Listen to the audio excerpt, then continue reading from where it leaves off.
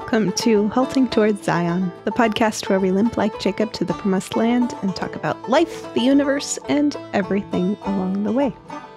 I'm Emily Maxon here with Greg Uttinger and Rachel Wojtek, and we're picking up our conversation from last week about the myth of the Nephilim. We didn't actually talk about this next week, but or last week, but it was the next logical step in what we were talking about. And I'm told that there's a very um, pernicious theological rumor, shall we say, about the Nephilim and the sons of God in Genesis chapter 4. Uh, Rachel, do you want to give us a rundown on what people are saying out there? Sure. So in Genesis 6, we come across the word Nephilim in Hebrew, which does appear in other places in the Bible. And from that appearance of this other people, um, there have been those that have said that this is actually angels coming down and taking human women and propagating a new species or race that is superior, uh, but also potentially demonic because these are fallen angels it was because they're coming a corrupting down. influence. Right. So apparently this was the way that angels corrupted themselves. This was the fall of angels was choosing to come down um, to take human women and somehow be able to propagate a species even though the bible tells us that in heaven we will be like the angels and not have children. Um, so something happened to create this special species that is described later in the book of Numbers as giants. And so uh, here they're called the uh, mighty men, which is a mm. term that the Bible uses frequently for those that do great and valorous deeds, both good yeah. and bad. Uh, this is the term used for Nimrod. So he hmm. wanted to be a mighty man before the Lord, or he was, and that was not good for him. Mm-hmm. But um, so they take this one word, which if you actually read Genesis 6, you do not get that at all. Um, when I first heard this and read the text, I went, okay, so there's a word there. Why does that make demon babies or half angel babies. Um, and they get these ideas by actually reading in the New Testament two places in Second Peter and in Jude, where the writers reference the fall of angels. And it's basically the only two places in the Bible really where we hear that. And even then, we're not given the details. And therefore, they grab from things outside of the text and have um, created this. Probably the main source of the myth, as you call it, the alternative explanation, um, is from the fact that in the book of Jude, he actually references a couple of sources outside of the Bible and what we would consider the canon of scripture. Um, and one of them is known as First Enoch which we find bits of it in like the Dead Sea Scrolls and such. And so it was before the time of Christ and was around during Jude's time. Uh, but he paraphrases it in his letter, not when talking about the angels, but at a different point. And therefore, people go and read First Enoch and they find that story in First Enoch. That's where it seems to have originated, where it says, well, some angels went down and took wives, and other angels gave away secret knowledge, and all of these different kinds of things produced the fall of the angels to be demons. And so they're taking kind of a general association of First Enoch and the angels being talked about in Jude to say, ah, we know who the Nephilim are. That must be what they are. But again, there's nothing in Jude that actually says that is what is happening. And Enoch speaks of a number of different ways that the angels fell. And none no one thinks that the book of first Enoch is scripture. So it is clear that Jude is using bits of those things, but typically it's to make his point against false teachers, not to uh, encourage us to read those texts. Um, so, what we do want to see, though, in the text is Rather, at the beginning of chapter six, we've had the line of Cain and we've had the line of Seth. Both of those have been set up for us as two distinct lines. And then we come to chapter six, and the first verse tells us there are two groups there are the daughters of men or the daughters of Adam, mankind, and there are the sons of God. And suddenly, the two groups are no longer distinct, but rather um, the sons of God look at the daughters of men and see that they are good or beautiful and are enticed to marry them. And from their unions, we hear of these Nephilim, which literally means fallen ones or um, those that have been, um, the same word is used for like miscarriage or cast mm. out, cast down. Interesting. Um, so they're, we don't know exactly why that's the term used for them, but. Um, right, because it's never been thought that the sons of God in this context were somehow unfallen. No. They're the children of Seth. That's the, the line that's carrying the promise.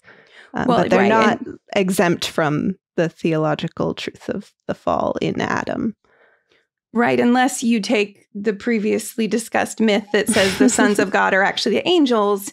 And mm-hmm. again, we have one scripture reference that can support that, which is that in Job at the beginning, it speaks of mm-hmm. the sons of God coming to his presence, and most believe that those that's referring to angels. But mm-hmm.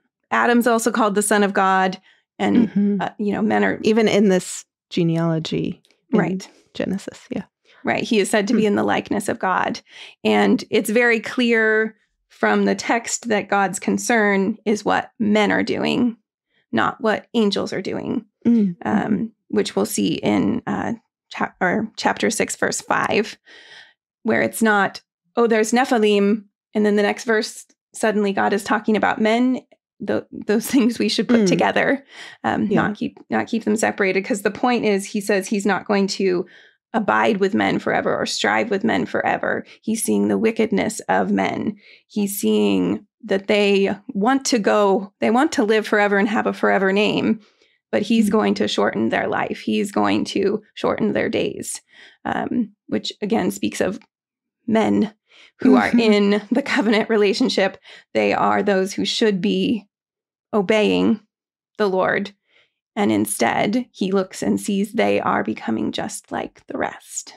Mm. And so instead of this union, we might say pulling the daughters of men up hmm. to the covenant um, covenant relationship. Instead, they pull the men down. Mm-hmm. And while in this very humanistic union, they produce mighty men, great men, mm men with names that seem like they'll go forever. But instead, it actually produces the destruction of all of them. mm And so we're supposed to see that contrast of men again trying to do it their own way and doing what looks good to them. And mm-hmm. instead, we see these, the mightiest of the mighty, are going to be thrown down. And this is the beginning of a long theme through scripture of mm-hmm. the the men of the covenant being distracted and enticed and mm-hmm. uh, intermarrying with unbelieving women, um, which God never speaks well of afterward. No, from Adam on, the a man's failure to uh, his covenant with his wife seems to directly correlate to his failure with his covenant with his God. Um, there's, we're covenant keepers across the board or covenant breakers across the board. And it's, and in this case, always covenant breakers. yeah, that's the thing. yes, to be a covenant keeper, God first has to be our covenant God and keep us. Mm-hmm. Yeah. Um, but so I suppose we could say we see God's faithfulness not just to keep us in covenant with himself, but with others as well, mm-hmm. to be able to hold our, our commitments. Now, as we are saying here that the Nephilim are actually human sons, human offspring mm-hmm. of Seth's line and Cain's line, it's important to understand then that they were not on the boat with Noah. yeah. And they did not, therefore, have magical powers from demons or angels or any such thing. And so we have to understand that they all died in the flood. That mm-hmm. that is the point of the worldwide flood. They were amongst the wickedness. So when we see them show up again in the book of Numbers, where the spies go to look at the land and they come back saying, There are Nephilim there, they are huge, and we can't possibly take them on. They're not the same group that has suddenly reappeared to challenge the sons of God again. yeah. um, that this is not a single genetical alternative race that exists in the world. Um, they they died in the flood because they were wicked, but they did did not alone cause the flood because of being demons. And they do not get to continue to be a source of our you know, blame shifting of, oh, mm. the Nephilim made me do it. Oh, the Nephilim yeah. are working in the world. There's a conspiracy. Uh, we need to be very clear that the Lord does not allow such mixing and he punishes humans for mm. their sin in as they are in covenant with him. And that is not the same way that he um, interacts with angels or demons. Yeah. Um, and covenant. the, the punishment of God on the earth is specifically connected to God's curse on the earth mm-hmm. from Adam's sin. Right. Uh, it would not make covenantal sense for someone else to be responsible for that destruction. Uh, that falls squarely on the shoulders of mankind. Yeah. There is one other thing that I mentioned before we began this introduction of a second race, and the word race contains it all. This would be another sentient series of genetically developed beings who are still on the planet. And oh, who are came, they? yeah, who are they today? Are they amongst us? I actually saw something on one of my, I think, my YouTube feed where it says exactly that. Where are they? Are they who you think they are? Maybe somebody you know is one. And I didn't click on it because I don't need that kind of nonsense, but you can see where this goes really easily. It honestly the, reminds me of the show Battlestar Galactica, where there's hmm. that alternative race, and you keep finding out all your favorite characters are actually a part of it, and yeah. they're all out to destroy everybody else somehow. yeah, it's yeah. Mm-hmm. Well, that Battlestar Galactica had its roots in Mormonism, and Mormonism originally was yeah. extremely racist. So the dots are all connecting here. mm.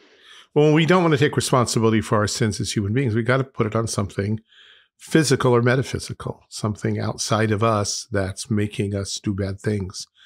The devil made me do it was Eve's original plea, and people are still there. They're still looking for some selective depravity. Hmm. But there's there is a, there are particular groups that are evil that are the source of all problems, whether it be the Jews or the blacks or the whites or women or men or you know you go down the list of who it's uh, in Marxian terms pop, uh, popular to blame right now. And if you can put a theological twist on it and say yes because they're demonic, hmm. then then I'm automatically good no matter how what a lousy human being I am compared to them. I'm pretty good. And I can stand on the good guy's side and, and claim that. And it doesn't require true repentance of sin or faith in Christ, just some glib acknowledgement of God and family and you know country and such, and then all those people are evil, and we should do something about them, like genocide. Um, so th- this is uh, this is a relevant conversation. Uh, something related to this very much in in terms of a proper interpretation is, is what was really going on here.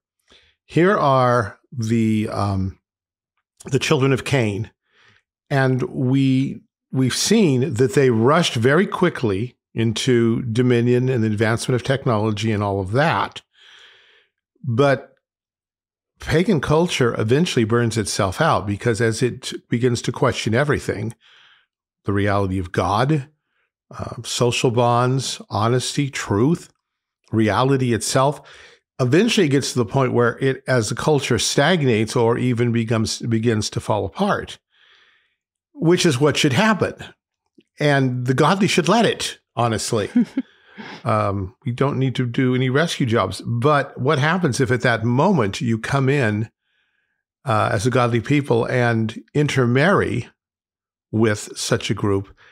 Here they are, true apostates, but you come in and you give them godly education, uh, godly science, a belief in the uh, real external universe that works by cause and effect. You give them habits of self discipline and all. You give them all of the outward training, but no faith because you've compromised your own already. What happens then? Well, well, it's um, not that you can give people faith anyway. No, right? but you don't you don't make an effort to evangelize and you don't stay away from people who haven't confessed Christ. You you embrace them.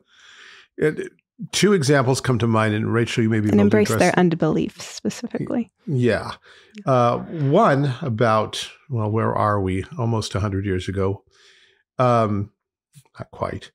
There were uh, mighty men who rose up in this world. Mm-hmm. Their names were things like Lenin and Stalin mm-hmm. and Hitler, and later Castro.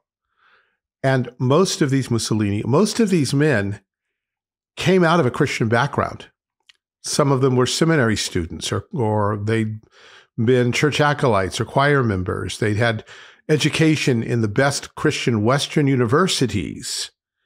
They had the discipline and the training, and they had none of the faith. And in fact, they hated Christianity. And what we got was some really scary people, people who made the world tremble because they had the outward advantages of Christianity and none of the faith. Now, to go back quite a bit earlier, we can think of the uh, expansion of Islam mm-hmm. um, during the uh, the early Middle Ages. We we are often asked, uh, well, isn't Islam a creative kind of culture because of this invention and that invention? What people don't realize is that mostly, well, Rachel, you want to take off from there? I see you shaking your head. sure.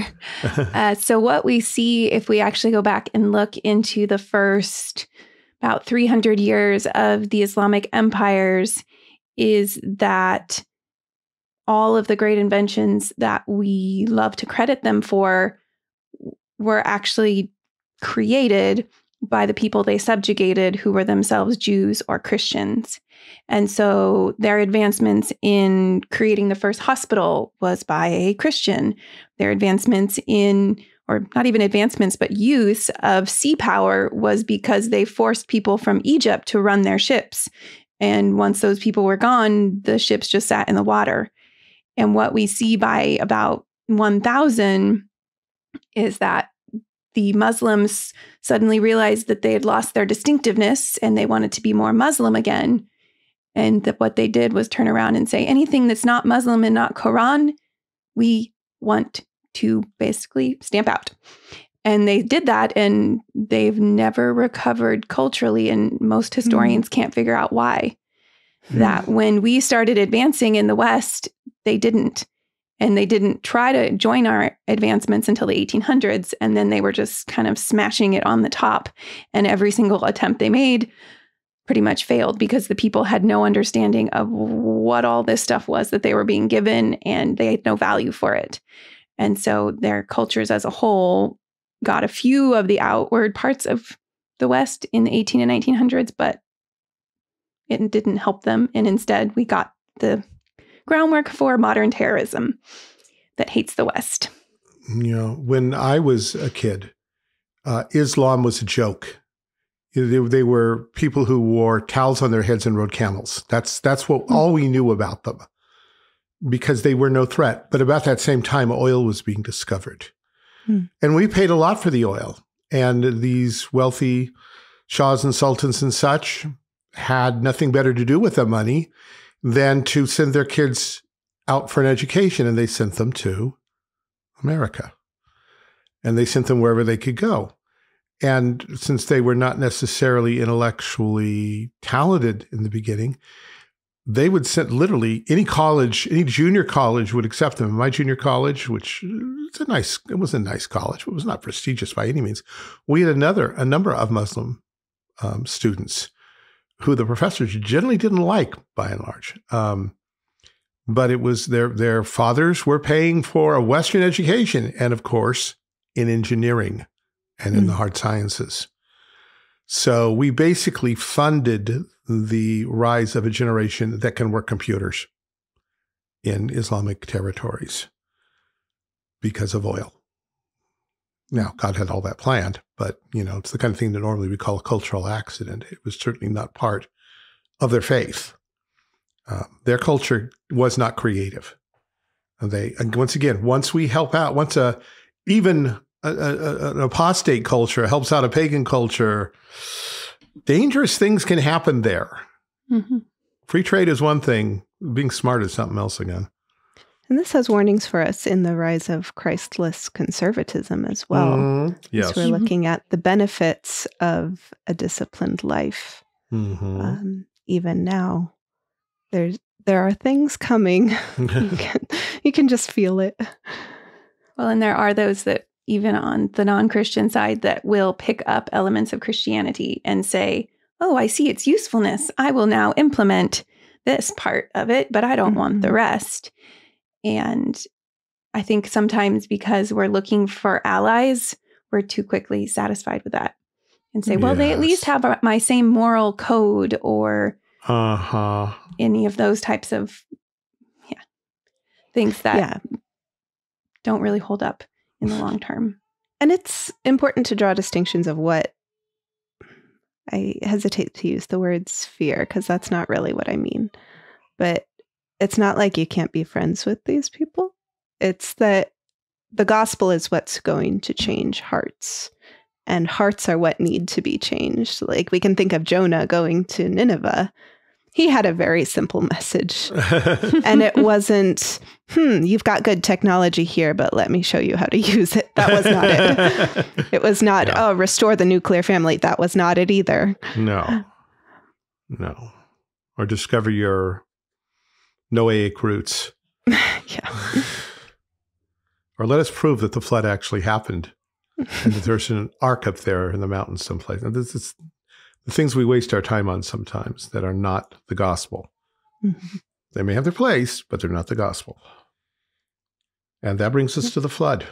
Yeah. Do you realize there are still people, Christians, who don't think the flood was worldwide? I think I forget that sometimes. Yeah. Well, Just like I forget that there are Christians who don't believe the take the normal six day mm. view of creation, and it's not That's like they're not Christians. Group, they're I just think. they're just wrong. um, everybody knows where we stand on this podcast, I think. But um, I hope so. Yeah. Well, yeah. some things along those lines. If I can, with my glasses off, actually read the text in front of me. And it came to pass after seven days, the waters of the flood were upon the earth. In the six hundredth year of Noah's life, in the seventh month, the seventeenth day of the month, the same day were all the fountains of the great deep broken up. And the windows of heaven were opened, and the rain was upon the earth forty days and forty nights. That's the time of the waterfall. That's not how long the flood lasted. The flood lasted nearly a year. And skipping on a bit, uh, they went in unto Noah into the ark, two and two of all flesh, wherein is the breath of life. There had to be a reason for that, because if they could all just flee to the mountains or into the next valley, it wouldn't be mm-hmm. necessary. And they that went in went in male and female of all flesh, as God had commanded him, and the Lord shut him in. The flood was forty days upon the earth, and the waters increased and bare up the ark, and it was lifted up above the earth. The waters prevailed and were increased greatly upon the earth, and the ark went upon the face of the waters, and the waters prevailed exceedingly upon the earth, and all the high hills that were under the whole heaven were covered. Now, there is such a thing as viewing a scene locally and talking about all you can see is from where you're standing. However, if you're standing in Mesopotamia and all the high hills are covered, that water's going a long, long, long, long way beyond the, those hills because otherwise it won't cover them. It'll go down the mm-hmm. other side and they won't be covered. It's not, the little hills were covered, but the mountains were bare. Now, the mountains, everything was underwater. And if that's so, then we're, we're dealing with, with something that is universal. 15 cubits upward did the waters prevail, and the mountains were covered. Unless it was just the high hills. No, it was the mountains too. And all flesh died that moved upon the earth, both of fowl and of cattle and beast and every creeping thing that creepeth upon the earth, and every man, all in whose nostrils was a breath of life of all that was in the dry land died, and every living substance was destroyed, which is upon the face of the ground, both man and cattle and creeping things and fowl of heaven. They were destroyed from the earth, and Noah only remained alive, and they that were with him in the ark. And the water prevailed upon the earth a 150 days. That's a level of specificity that precludes hyperbole, I think. I think so. Peter says the world that then was being overflowed with water perished. Uh, it's it, it was a judgment upon the world. Now, things that can contribute to this, to our understanding of this, are little things like population growth, simple exponential population growth given two people in 656 years. You start getting millions of people because we're told again and again every of the patriarchs had sons and daughters. So we're looking at four or five per family. That goes high real fast. By the seventh generation, we're pushing it. Uh, this is not some local, small, tiny population confined in, say, the Tigris Euphrates River Valley or some such place. This is a worldwide population. And that's um, what God had said earlier um, uh, back in, in chapter six um, the earth was corrupt before God. The earth was filled with violence. God looked upon the earth, and behold, it was corrupt, for all flesh had corrupted its way upon the earth. And God said to Noah, The end of all flesh has come before me. The earth is filled with violence through them. Behold, I will destroy them with the earth. And then there's the whole thing of, and there's this boat. If it's not a universal flood, you tell Noah, get moving, mm-hmm. get beyond the mountains get far as far away as you can, and you'll be safe.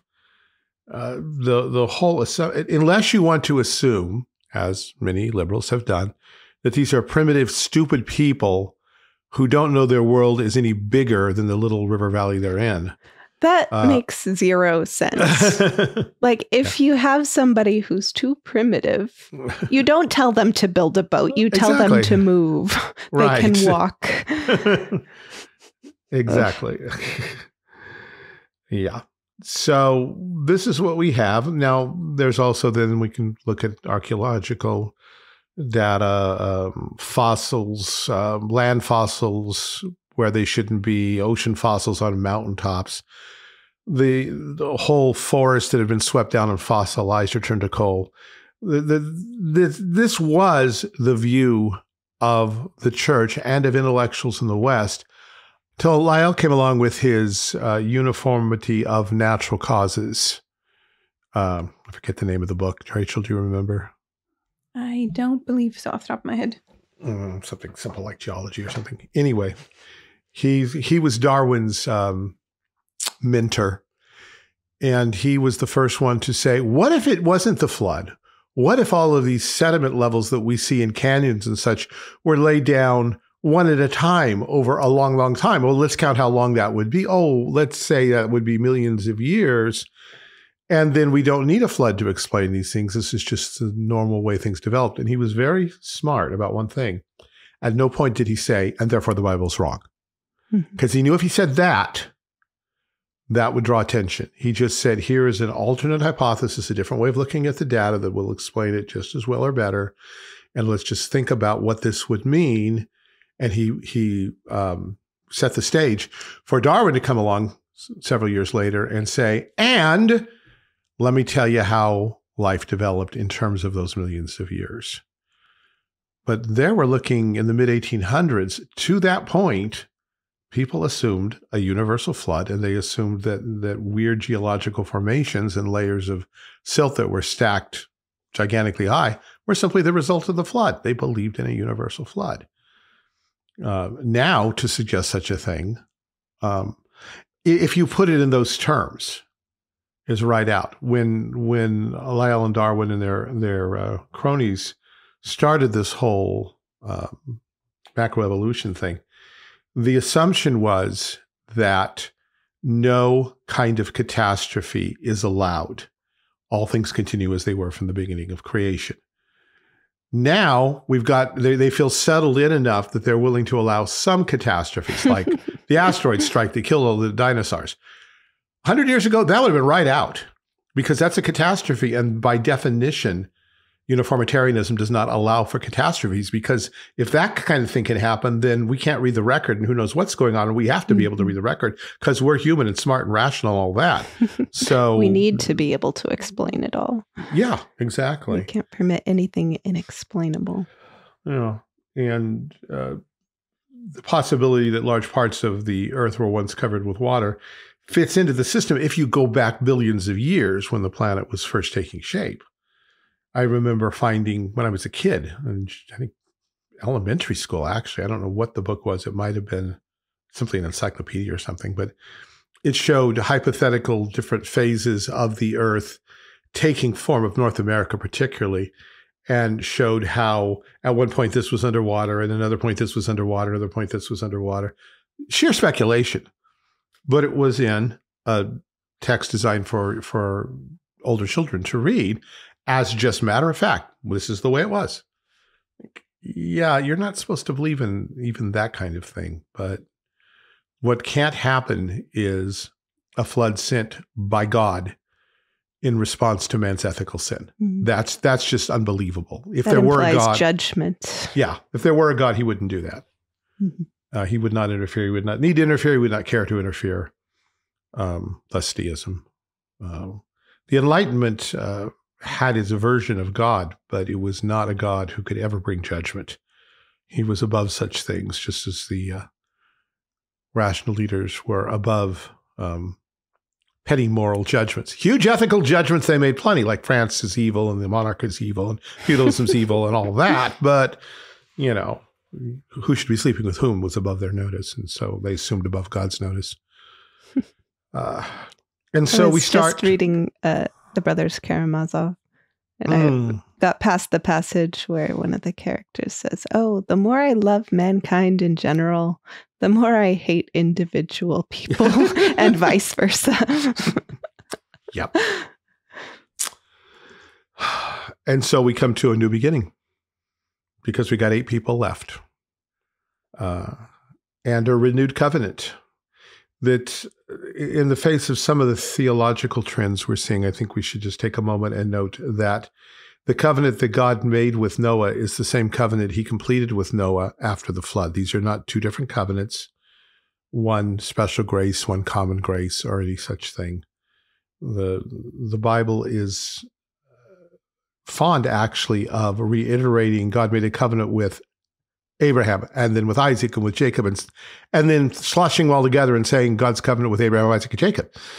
You know, that kind of thing. God made a covenant with his people at Sinai. And then in the next generation, God made a covenant with him, not with the people who came out of Egypt, but with you who are here right day to day. But it's the same covenant, covenant renewal uh, and and rephrasing covenants and and um, redefining them for the new situation is common in Scripture. Mm-hmm. And we can see specific continuities in yeah. the Noahic example of animal sacrifice after the flood. Um, and God speaks of the curse on the ground. Yeah. Um, which is a callback to the curse on the ground in Genesis 3. Well, um, so there is, yeah. I think I've I particularly found the sacrifice aspect of it most compelling mm-hmm. because it reminded me that this covenant is beginning with the need for the shedding of blood, which means there is sin that needs to be dealt with first in this mm-hmm. covenant. And therefore, it's not just a generic covenant over all people, but it is particularly focused at those under the blood uh, that the covenant calls for. And that I think a lot of people pick up where God starts talking and they miss the foundation of why he's talking, where he smells the sweet savor, he is pleased and then he begins to talk. And I've heard people question whether there can be a distinction between interacting with Noah as the head of his family versus Noah as the head of all mankind. Like, is he the head of the church or of mankind in this situation? But this yes. happens at a specific time when they are, in fact, the, the same, same group of people. Yes. Right. So I don't think there's yeah. a need to distinguish. Yeah. Yeah, this is the, these are the coveted people who have been saved by water, Peter says. Uh, he calls the flood a type of baptism, and everyone on the ark was baptized. There are eight of them, the number of resurrection. Peter draws attention to that, both of his epistles. Uh, to make this, and, and and then there's the whole. This all begs the question of is common grace or whatever you want to call it actually something separate and distinct from saving grace? And I would argue that they're not. Uh, what we call common, I don't like the phrase common grace, but I'll use it. Common grace is the overflow of special grace. When God comes and saves a people, he that the blessings overflow for the sake of those people and of his purposes and for the future. You can think of the wheat and the tares here. God does not pull up the wheat for the sake of the tares that are going to become wheat eventually. Uh, he blesses a the people in a nation of fundamentally godly people for the sake of the godly people because he would bless his people and other people get the benefits we all know the, the, the benefits of growing up in a godly household, even when a child does not at first and perhaps never receive Christ as Savior.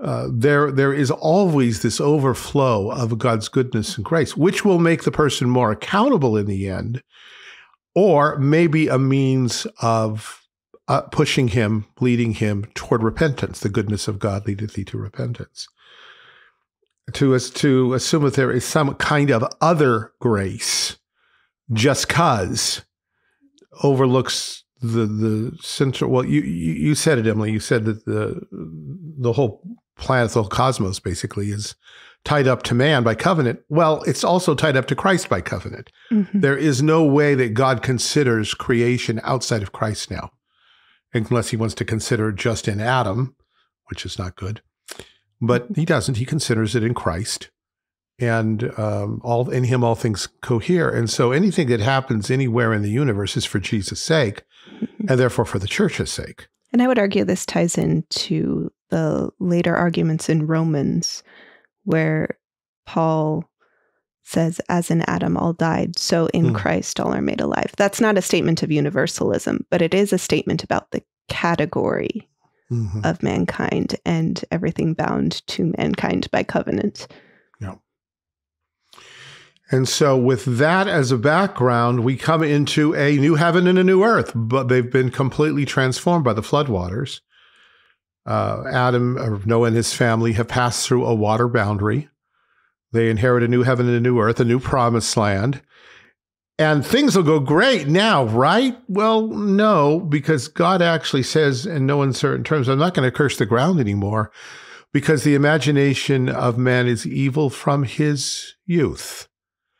And we might be inclined to think, well, that's a good reason to keep on cursing things if man's if man from his youth is sinful. But no, the mm-hmm. point is the floods externals, like destroying an entire world, aren't going to fix the sin problem. So check we're, we're doing a checklist of things that won't work. Destroy humanity. Okay that didn't work. That didn't solve the sin problem. Not Put that man, god thought it would but no. he wanted to show us that it wouldn't wanted to show us that it would put man in a perfect uh, in outward environment with all of the right religious and moral trappings and have God live in their midst. That'll fix everything, right? No. Okay. Well, let's scratch that one off the list. And when we go down the list of ways that we would try to fix the world, we see the God's tried them. Not, as you say, not in the sense of actually seriously th- thinking they would work, but he's he's used these to push us step by step from spiritual kindergarten into the full light of the gospel when Jesus comes, so that we know that all of our great ideas of how to fix things don't work, and that man needs a heart change. And so we start here. Well, let's put let's let the state have the sword and execute criminals, murderers particularly. And let's have a patriarchal sort of government. And let's spread out and have kids and um, in a brand new world, undefiled by technology, except whatever we carried over from the old world. And uh, so being Amish doesn't help saying yeah, being Amish doesn't help, or being um, and I know that's a noble a savage of what the Amish yes, yes, is. yes. But also, you can't you can't just say, oh, we just need to be part of our good covenant family. Mhm. That Yeah. will fix us, which is Right. often very common. Let us just, Mhm. you know, go and be our own little family and do our own little thing on homeschool on a place, a you know, piece of property way out there. They were completely by themselves as a single family, and we only ever get really a spiritual assessment of Noah Mhm. not of the rest. And we certainly don't get a good view of um, Ham. Yeah. Ham. And within about 125, 150 years, there are enough people around to decide that, in fact, this whole covenant family, God of Noah, creator God, Elohim, is not, that's not how we need to structure our society. we need to identify ourselves. We need to self identify. Um, make us a name and uh, unite lest we be scattered abroad they they refused to believe god's promise and they wanted to unite and they so they formed and, and oftentimes we skip over the fact that they formed a city Mhm. um, the city s- came first. the city and the city is built around what we call a ziggurat the Mhm. language is is sort of vague and yet it's clear enough if you ignore what's been supplied by the translators they say um, let us build us a city and a tower whose top is unto heaven. Now the translator supplied may reach into heaven. That gives the idea that they're trying to build it up really high and some people have speculated so they could get above flood waters if they came back. That's not what they're saying. The heaven they're talking about is not the sky. They're talking about where god lives. Mhm. they wanted to build a, re- a magical artifact that would bring them into heaven itself. That would The that would fundamental unit of government of the world. yeah. But we have to stop there because we're out of time. well, that's a good place to stop. So Yeah, we'll talk more about the ziggurat next time. Okay. I look forward to it very much. I have notes from uh, my freshman year of college when I was taking Western Heritage, and it's Hmm. just like it all it's all ziggurats all the time, everywhere. um, yeah, Including so I'm World. excited about next Yeah. week. Okay. Uh, but thank you so much, both of you, for this conversation. It's been a delight. I've learned a lot. Uh, thanks also to David, our producer and my lawfully wedded husband. Uh, thanks also to our financial supporters. We appreciate you keeping the show rolling. If you'd like to join their number, you can visit patreon.com slash halting towards Zion. And if you'd like to get a hold of us with any comments, questions, bouquets, brickbats, uh, haltingtowardszion at gmail.com is the best way to reach us. Uh, this has been a production of Diecast Media Group. Thank you so much for listening. We'll see you next time.